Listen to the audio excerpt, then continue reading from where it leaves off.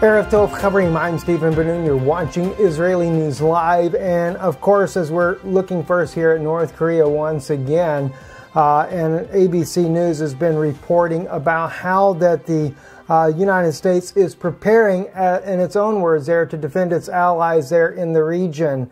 And uh, the USS Ronald Reagan, the nuclear aircraft carrier that is out actually there uh, near North Korea. In fact, actually, it's been docked here today in Seoul, South Korea. Very concerning to me that would actually dock, in particular, Seoul. Uh, that kind of gives a uh, one way for South, uh, North Korea to actually strike and, and, get more of a direct hit. Uh, uh, you might say an easy target. And the mere fact that North Korea does not strike uh, kind of lets us know that North Korea is really not wanting to engage the U.S. in any kind of conflict there, although that the U.S. has continued to do the military drills, uh, just recently conducting five days of military drills.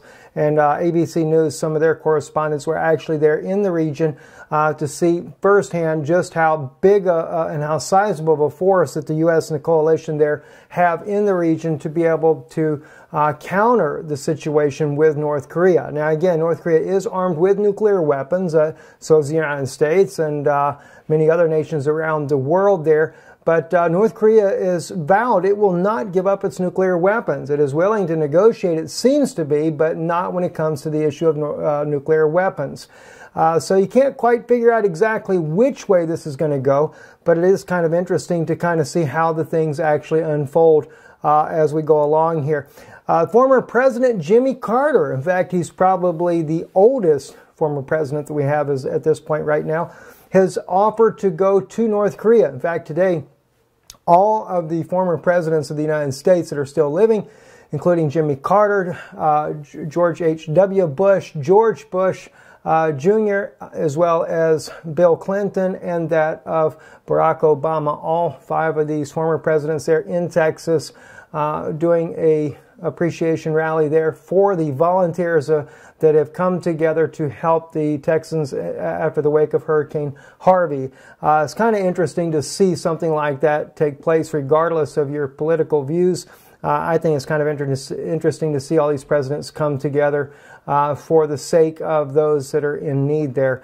Uh, also, the, the, the issue of being brought up with Puerto Rico was also brought up by President Bill Clinton. I thought that was a something that, that, needed to be said. And as he said, regardless of uh, race, color, religion, or political affiliation, we need to come together and do something to help the people of Puerto Rico.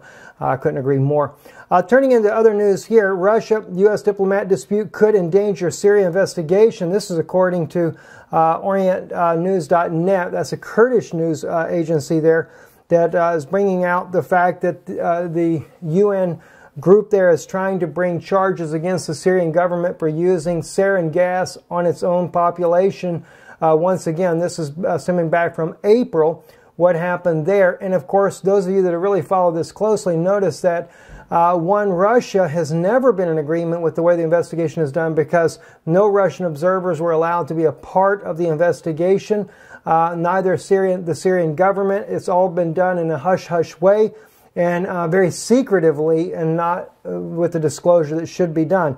And once again, as so many have brought out about this situation there, as you can see on your screen right here, these are supposed to be victims of the sarin gas, and yet the man with the water hose out here walking around barefooted uh, amongst the sarin gas victims. One drop of sarin gas is lethal to uh, a grown adult. So the question still remains, especially under the uh, white helmets and all the propaganda uh, videos that they have put out about this sarin gas attack, and in, many cases already showing that they were handling the victims of the sarin gas with their bare hands and washing them off when they should have died as well, but they didn't. So there's been a lot of um, a lot of been a, a, lot of people come out and say uh, journalists and experts alike, including those in the field that would know better, uh, that this clearly was a staged event from the beginning and that it has never was a sarin gas attack by the uh, President Bashar al-Assad for the Syrian government.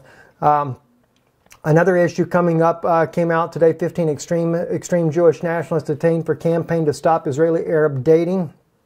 Of course, Mr. Goldstein as you can see pictured here on your uh, far left here the screen here. Don't know if you guys see him on there. He's also the man that was arrested for uh, speaking out publicly about uh, getting rid of all the idols uh, that are inside of Israel. He's referring more so to the uh, the churches that are in there and the idols that they have where people kneel and pray to and uh, things like that.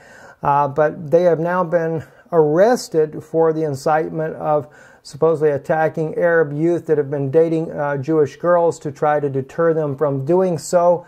Uh, I do know that there has been cases before where Jewish girls that do marry Arab young men end up going in behind into the Palestinian area, never to be seen by their families again because of the uh, strict rules of the Arabic world there. So I know that there is some concern on that side there, but certainly uh, the condoning of going and beating people is certainly not the way to handle that.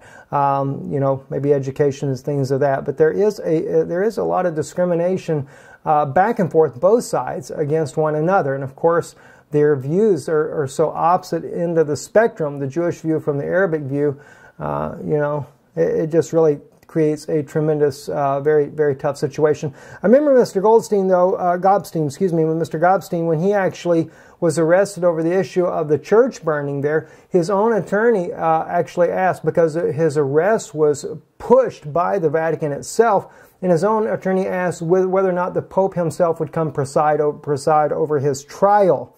Uh, I thought that was very, very interesting that the attorney brought this up.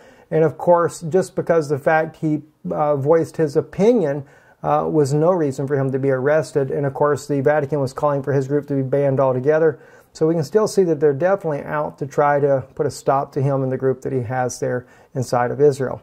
Uh, moving on, uh, one last thing as well on this subject here. This course is back from 2013. October 17, Jewish women can't volunteer at night to avoid contact with Arabs.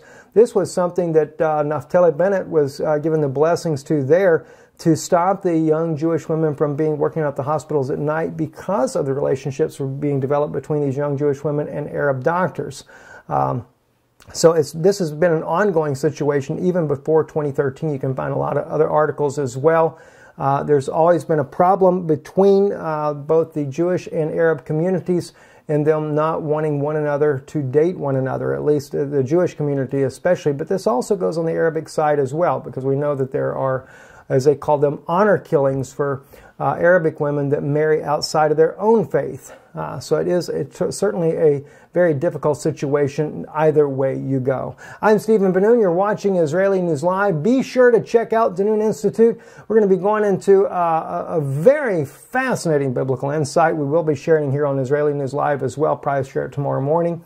Uh, because I just want you to be able to see this. Looking at prophecy in the news, a prophecy that I saw in the story of David uh, that is has a lot to do with what is happening with Hebron, and of course the tomb of the patriarchs Abraham, Sarah, uh, the burial place there of Jacob and Leah, uh, as well as believed by the Jewish community as Adam and Eve were also buried at the same site. You are going to want to see this. Uh, very interesting insight, as well as the type of Yeshua with that of the great King David. I'm Stephen Ben-Nun. You're watching Israeli News Live. Erev Tov.